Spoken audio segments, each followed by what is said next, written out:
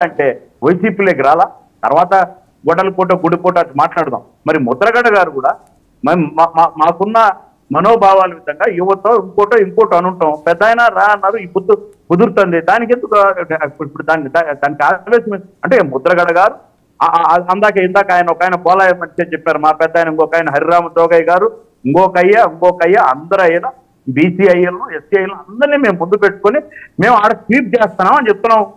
మేము ఆడతో ఆడ ఏం లేదు ఇంకా మీకు స్పేసే లేదు.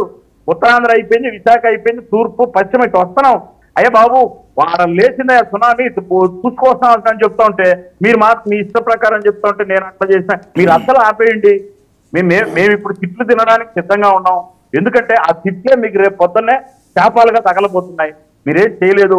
ఈ డిబేట్లో ఇష్టం వచ్చినట్టు మాట్లాడి. మేము ఎంత గౌరవంగా నవ్వుతూ అన్నా అని మాట్లాడినా మీరేం మాట్లాడతారు మీ భాష సవరించుకోండి మేము కూడా సవరించుకుంటాం. మీరు ఎందుకంటే ఓడిపోయి ఇంటికి పోయేటప్పుడన్నా కొంచెం గౌరవంగా పోండి మర్యాదగా పోండి. రేపు పొద్దున్నే మళ్ళా మాట్లాడుకుంటాం కదా మీరు ప్రతిపక్షాలు మేము అధికార పక్షం అంతేగా తేడా ఏమున్నా? మనకు మనకు. ఇప్పుడు మీ మీరు ప్రతిపక్షం అది డెఫినెట్ మేము మేము అధికార పక్షం. ఇప్పుడు ఆ రోజు మాట్లాడతాం దాన్ని జీర్ణించుకోలేకపోతే ఎట్టా అని జగన్మోహన్ రెడ్డి గారే జీర్ణించుకోలేక ఒక ముఖ్యమంత్రి స్థాయిలో విద్యార్థులు ఎదురుగా మీరు శ్రీనివాస్ గారు మీ వాయిస్ మ్యూట్లో ఉంది. శ్రీనివాస్ గారు ఎవరిది? మీది కాదు మీది శ్రీనివాస్ గారు. శ్రీనివాస్ గారు. శ్రీనివాస్ గారు మీ వాయిస్ మ్యూట్లో ఉందండి. పవన్ కళ్యాణ్ని నమ్ముకుంటే కుక్క తోక పట్టి గోదావరి ఈదినట్టే నరేంద్ర చాలా ఇబ్బందులు పడతాడు. తాత నా- నాగేంద్ర అండి, నరేంద్ర కాదు. ఆయన నాగేంద్ర అన్న, మీరు కూడా sir sir sir, okay okay. గాడిద కాళ్ళు పట్టుకుని తన్నించుకోవడం కంటే విశ్వాసవంతమైన కుక్క తాడు పట్టుకోవడం మేలు కదా. గాడిద పట్టుకొని గాడిద కాళ్ళు పట్టుకొని గాడిద కాళ్ళు పట్టుకొని తన్నించుకోవడం కంటే విశ్వాసవంతమైన జంతువు కుక్క కుక్క ఎవరిని చూసి అరుస్తుంది. కుక్క దొంగలను చూసి అరుస్తుంది. పవన్ కుక్క జీవితం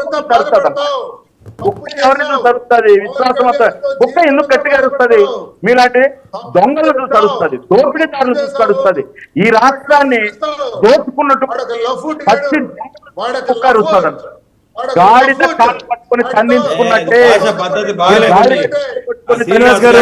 ఏందా భాష శ్రీనివాస్ గారు శ్రీనివాస్ గారు శ్రీనివాస్ గారు శ్రీనివాస్ గారు శ్రీనివాస్ గారు, భాష కొంచెం. ఎందుకు ఒకటికి ఒకటి పై మాట్లాడలేకనా నార్మల్ ముఖ్యమంత్రి గారిని శ్రీనివాస్ గారు భాష ఒక్కసారి.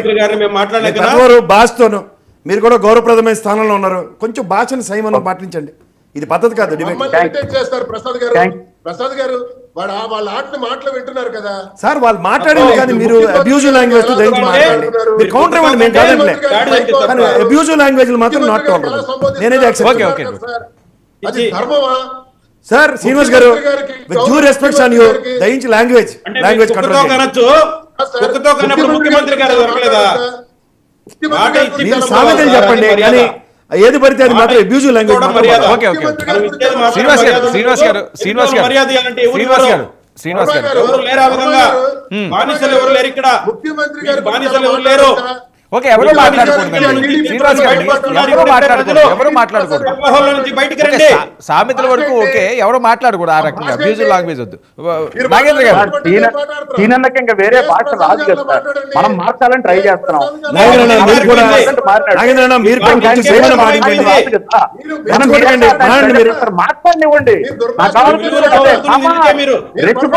అయిపోయింది ఇంక ఎన్ని రోజులు?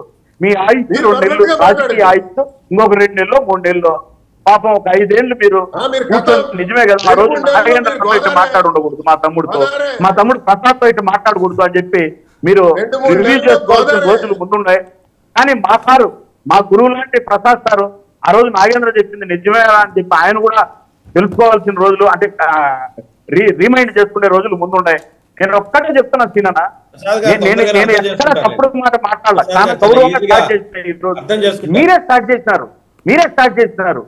ఎందుకంత ప్ర- ప్రసాద్ గారు one year back మేము బాగున్నాం. మన వేరే నాయ- అర్థం మా నాయకుడు ఏం చేసుకుంటారు. చెప్పి- మా నాయకుడు ఏం ఈ చెప్పాడు మధ్యకాలంలోనే తెలుసా? కొంచెం. నీకు వింటా విను.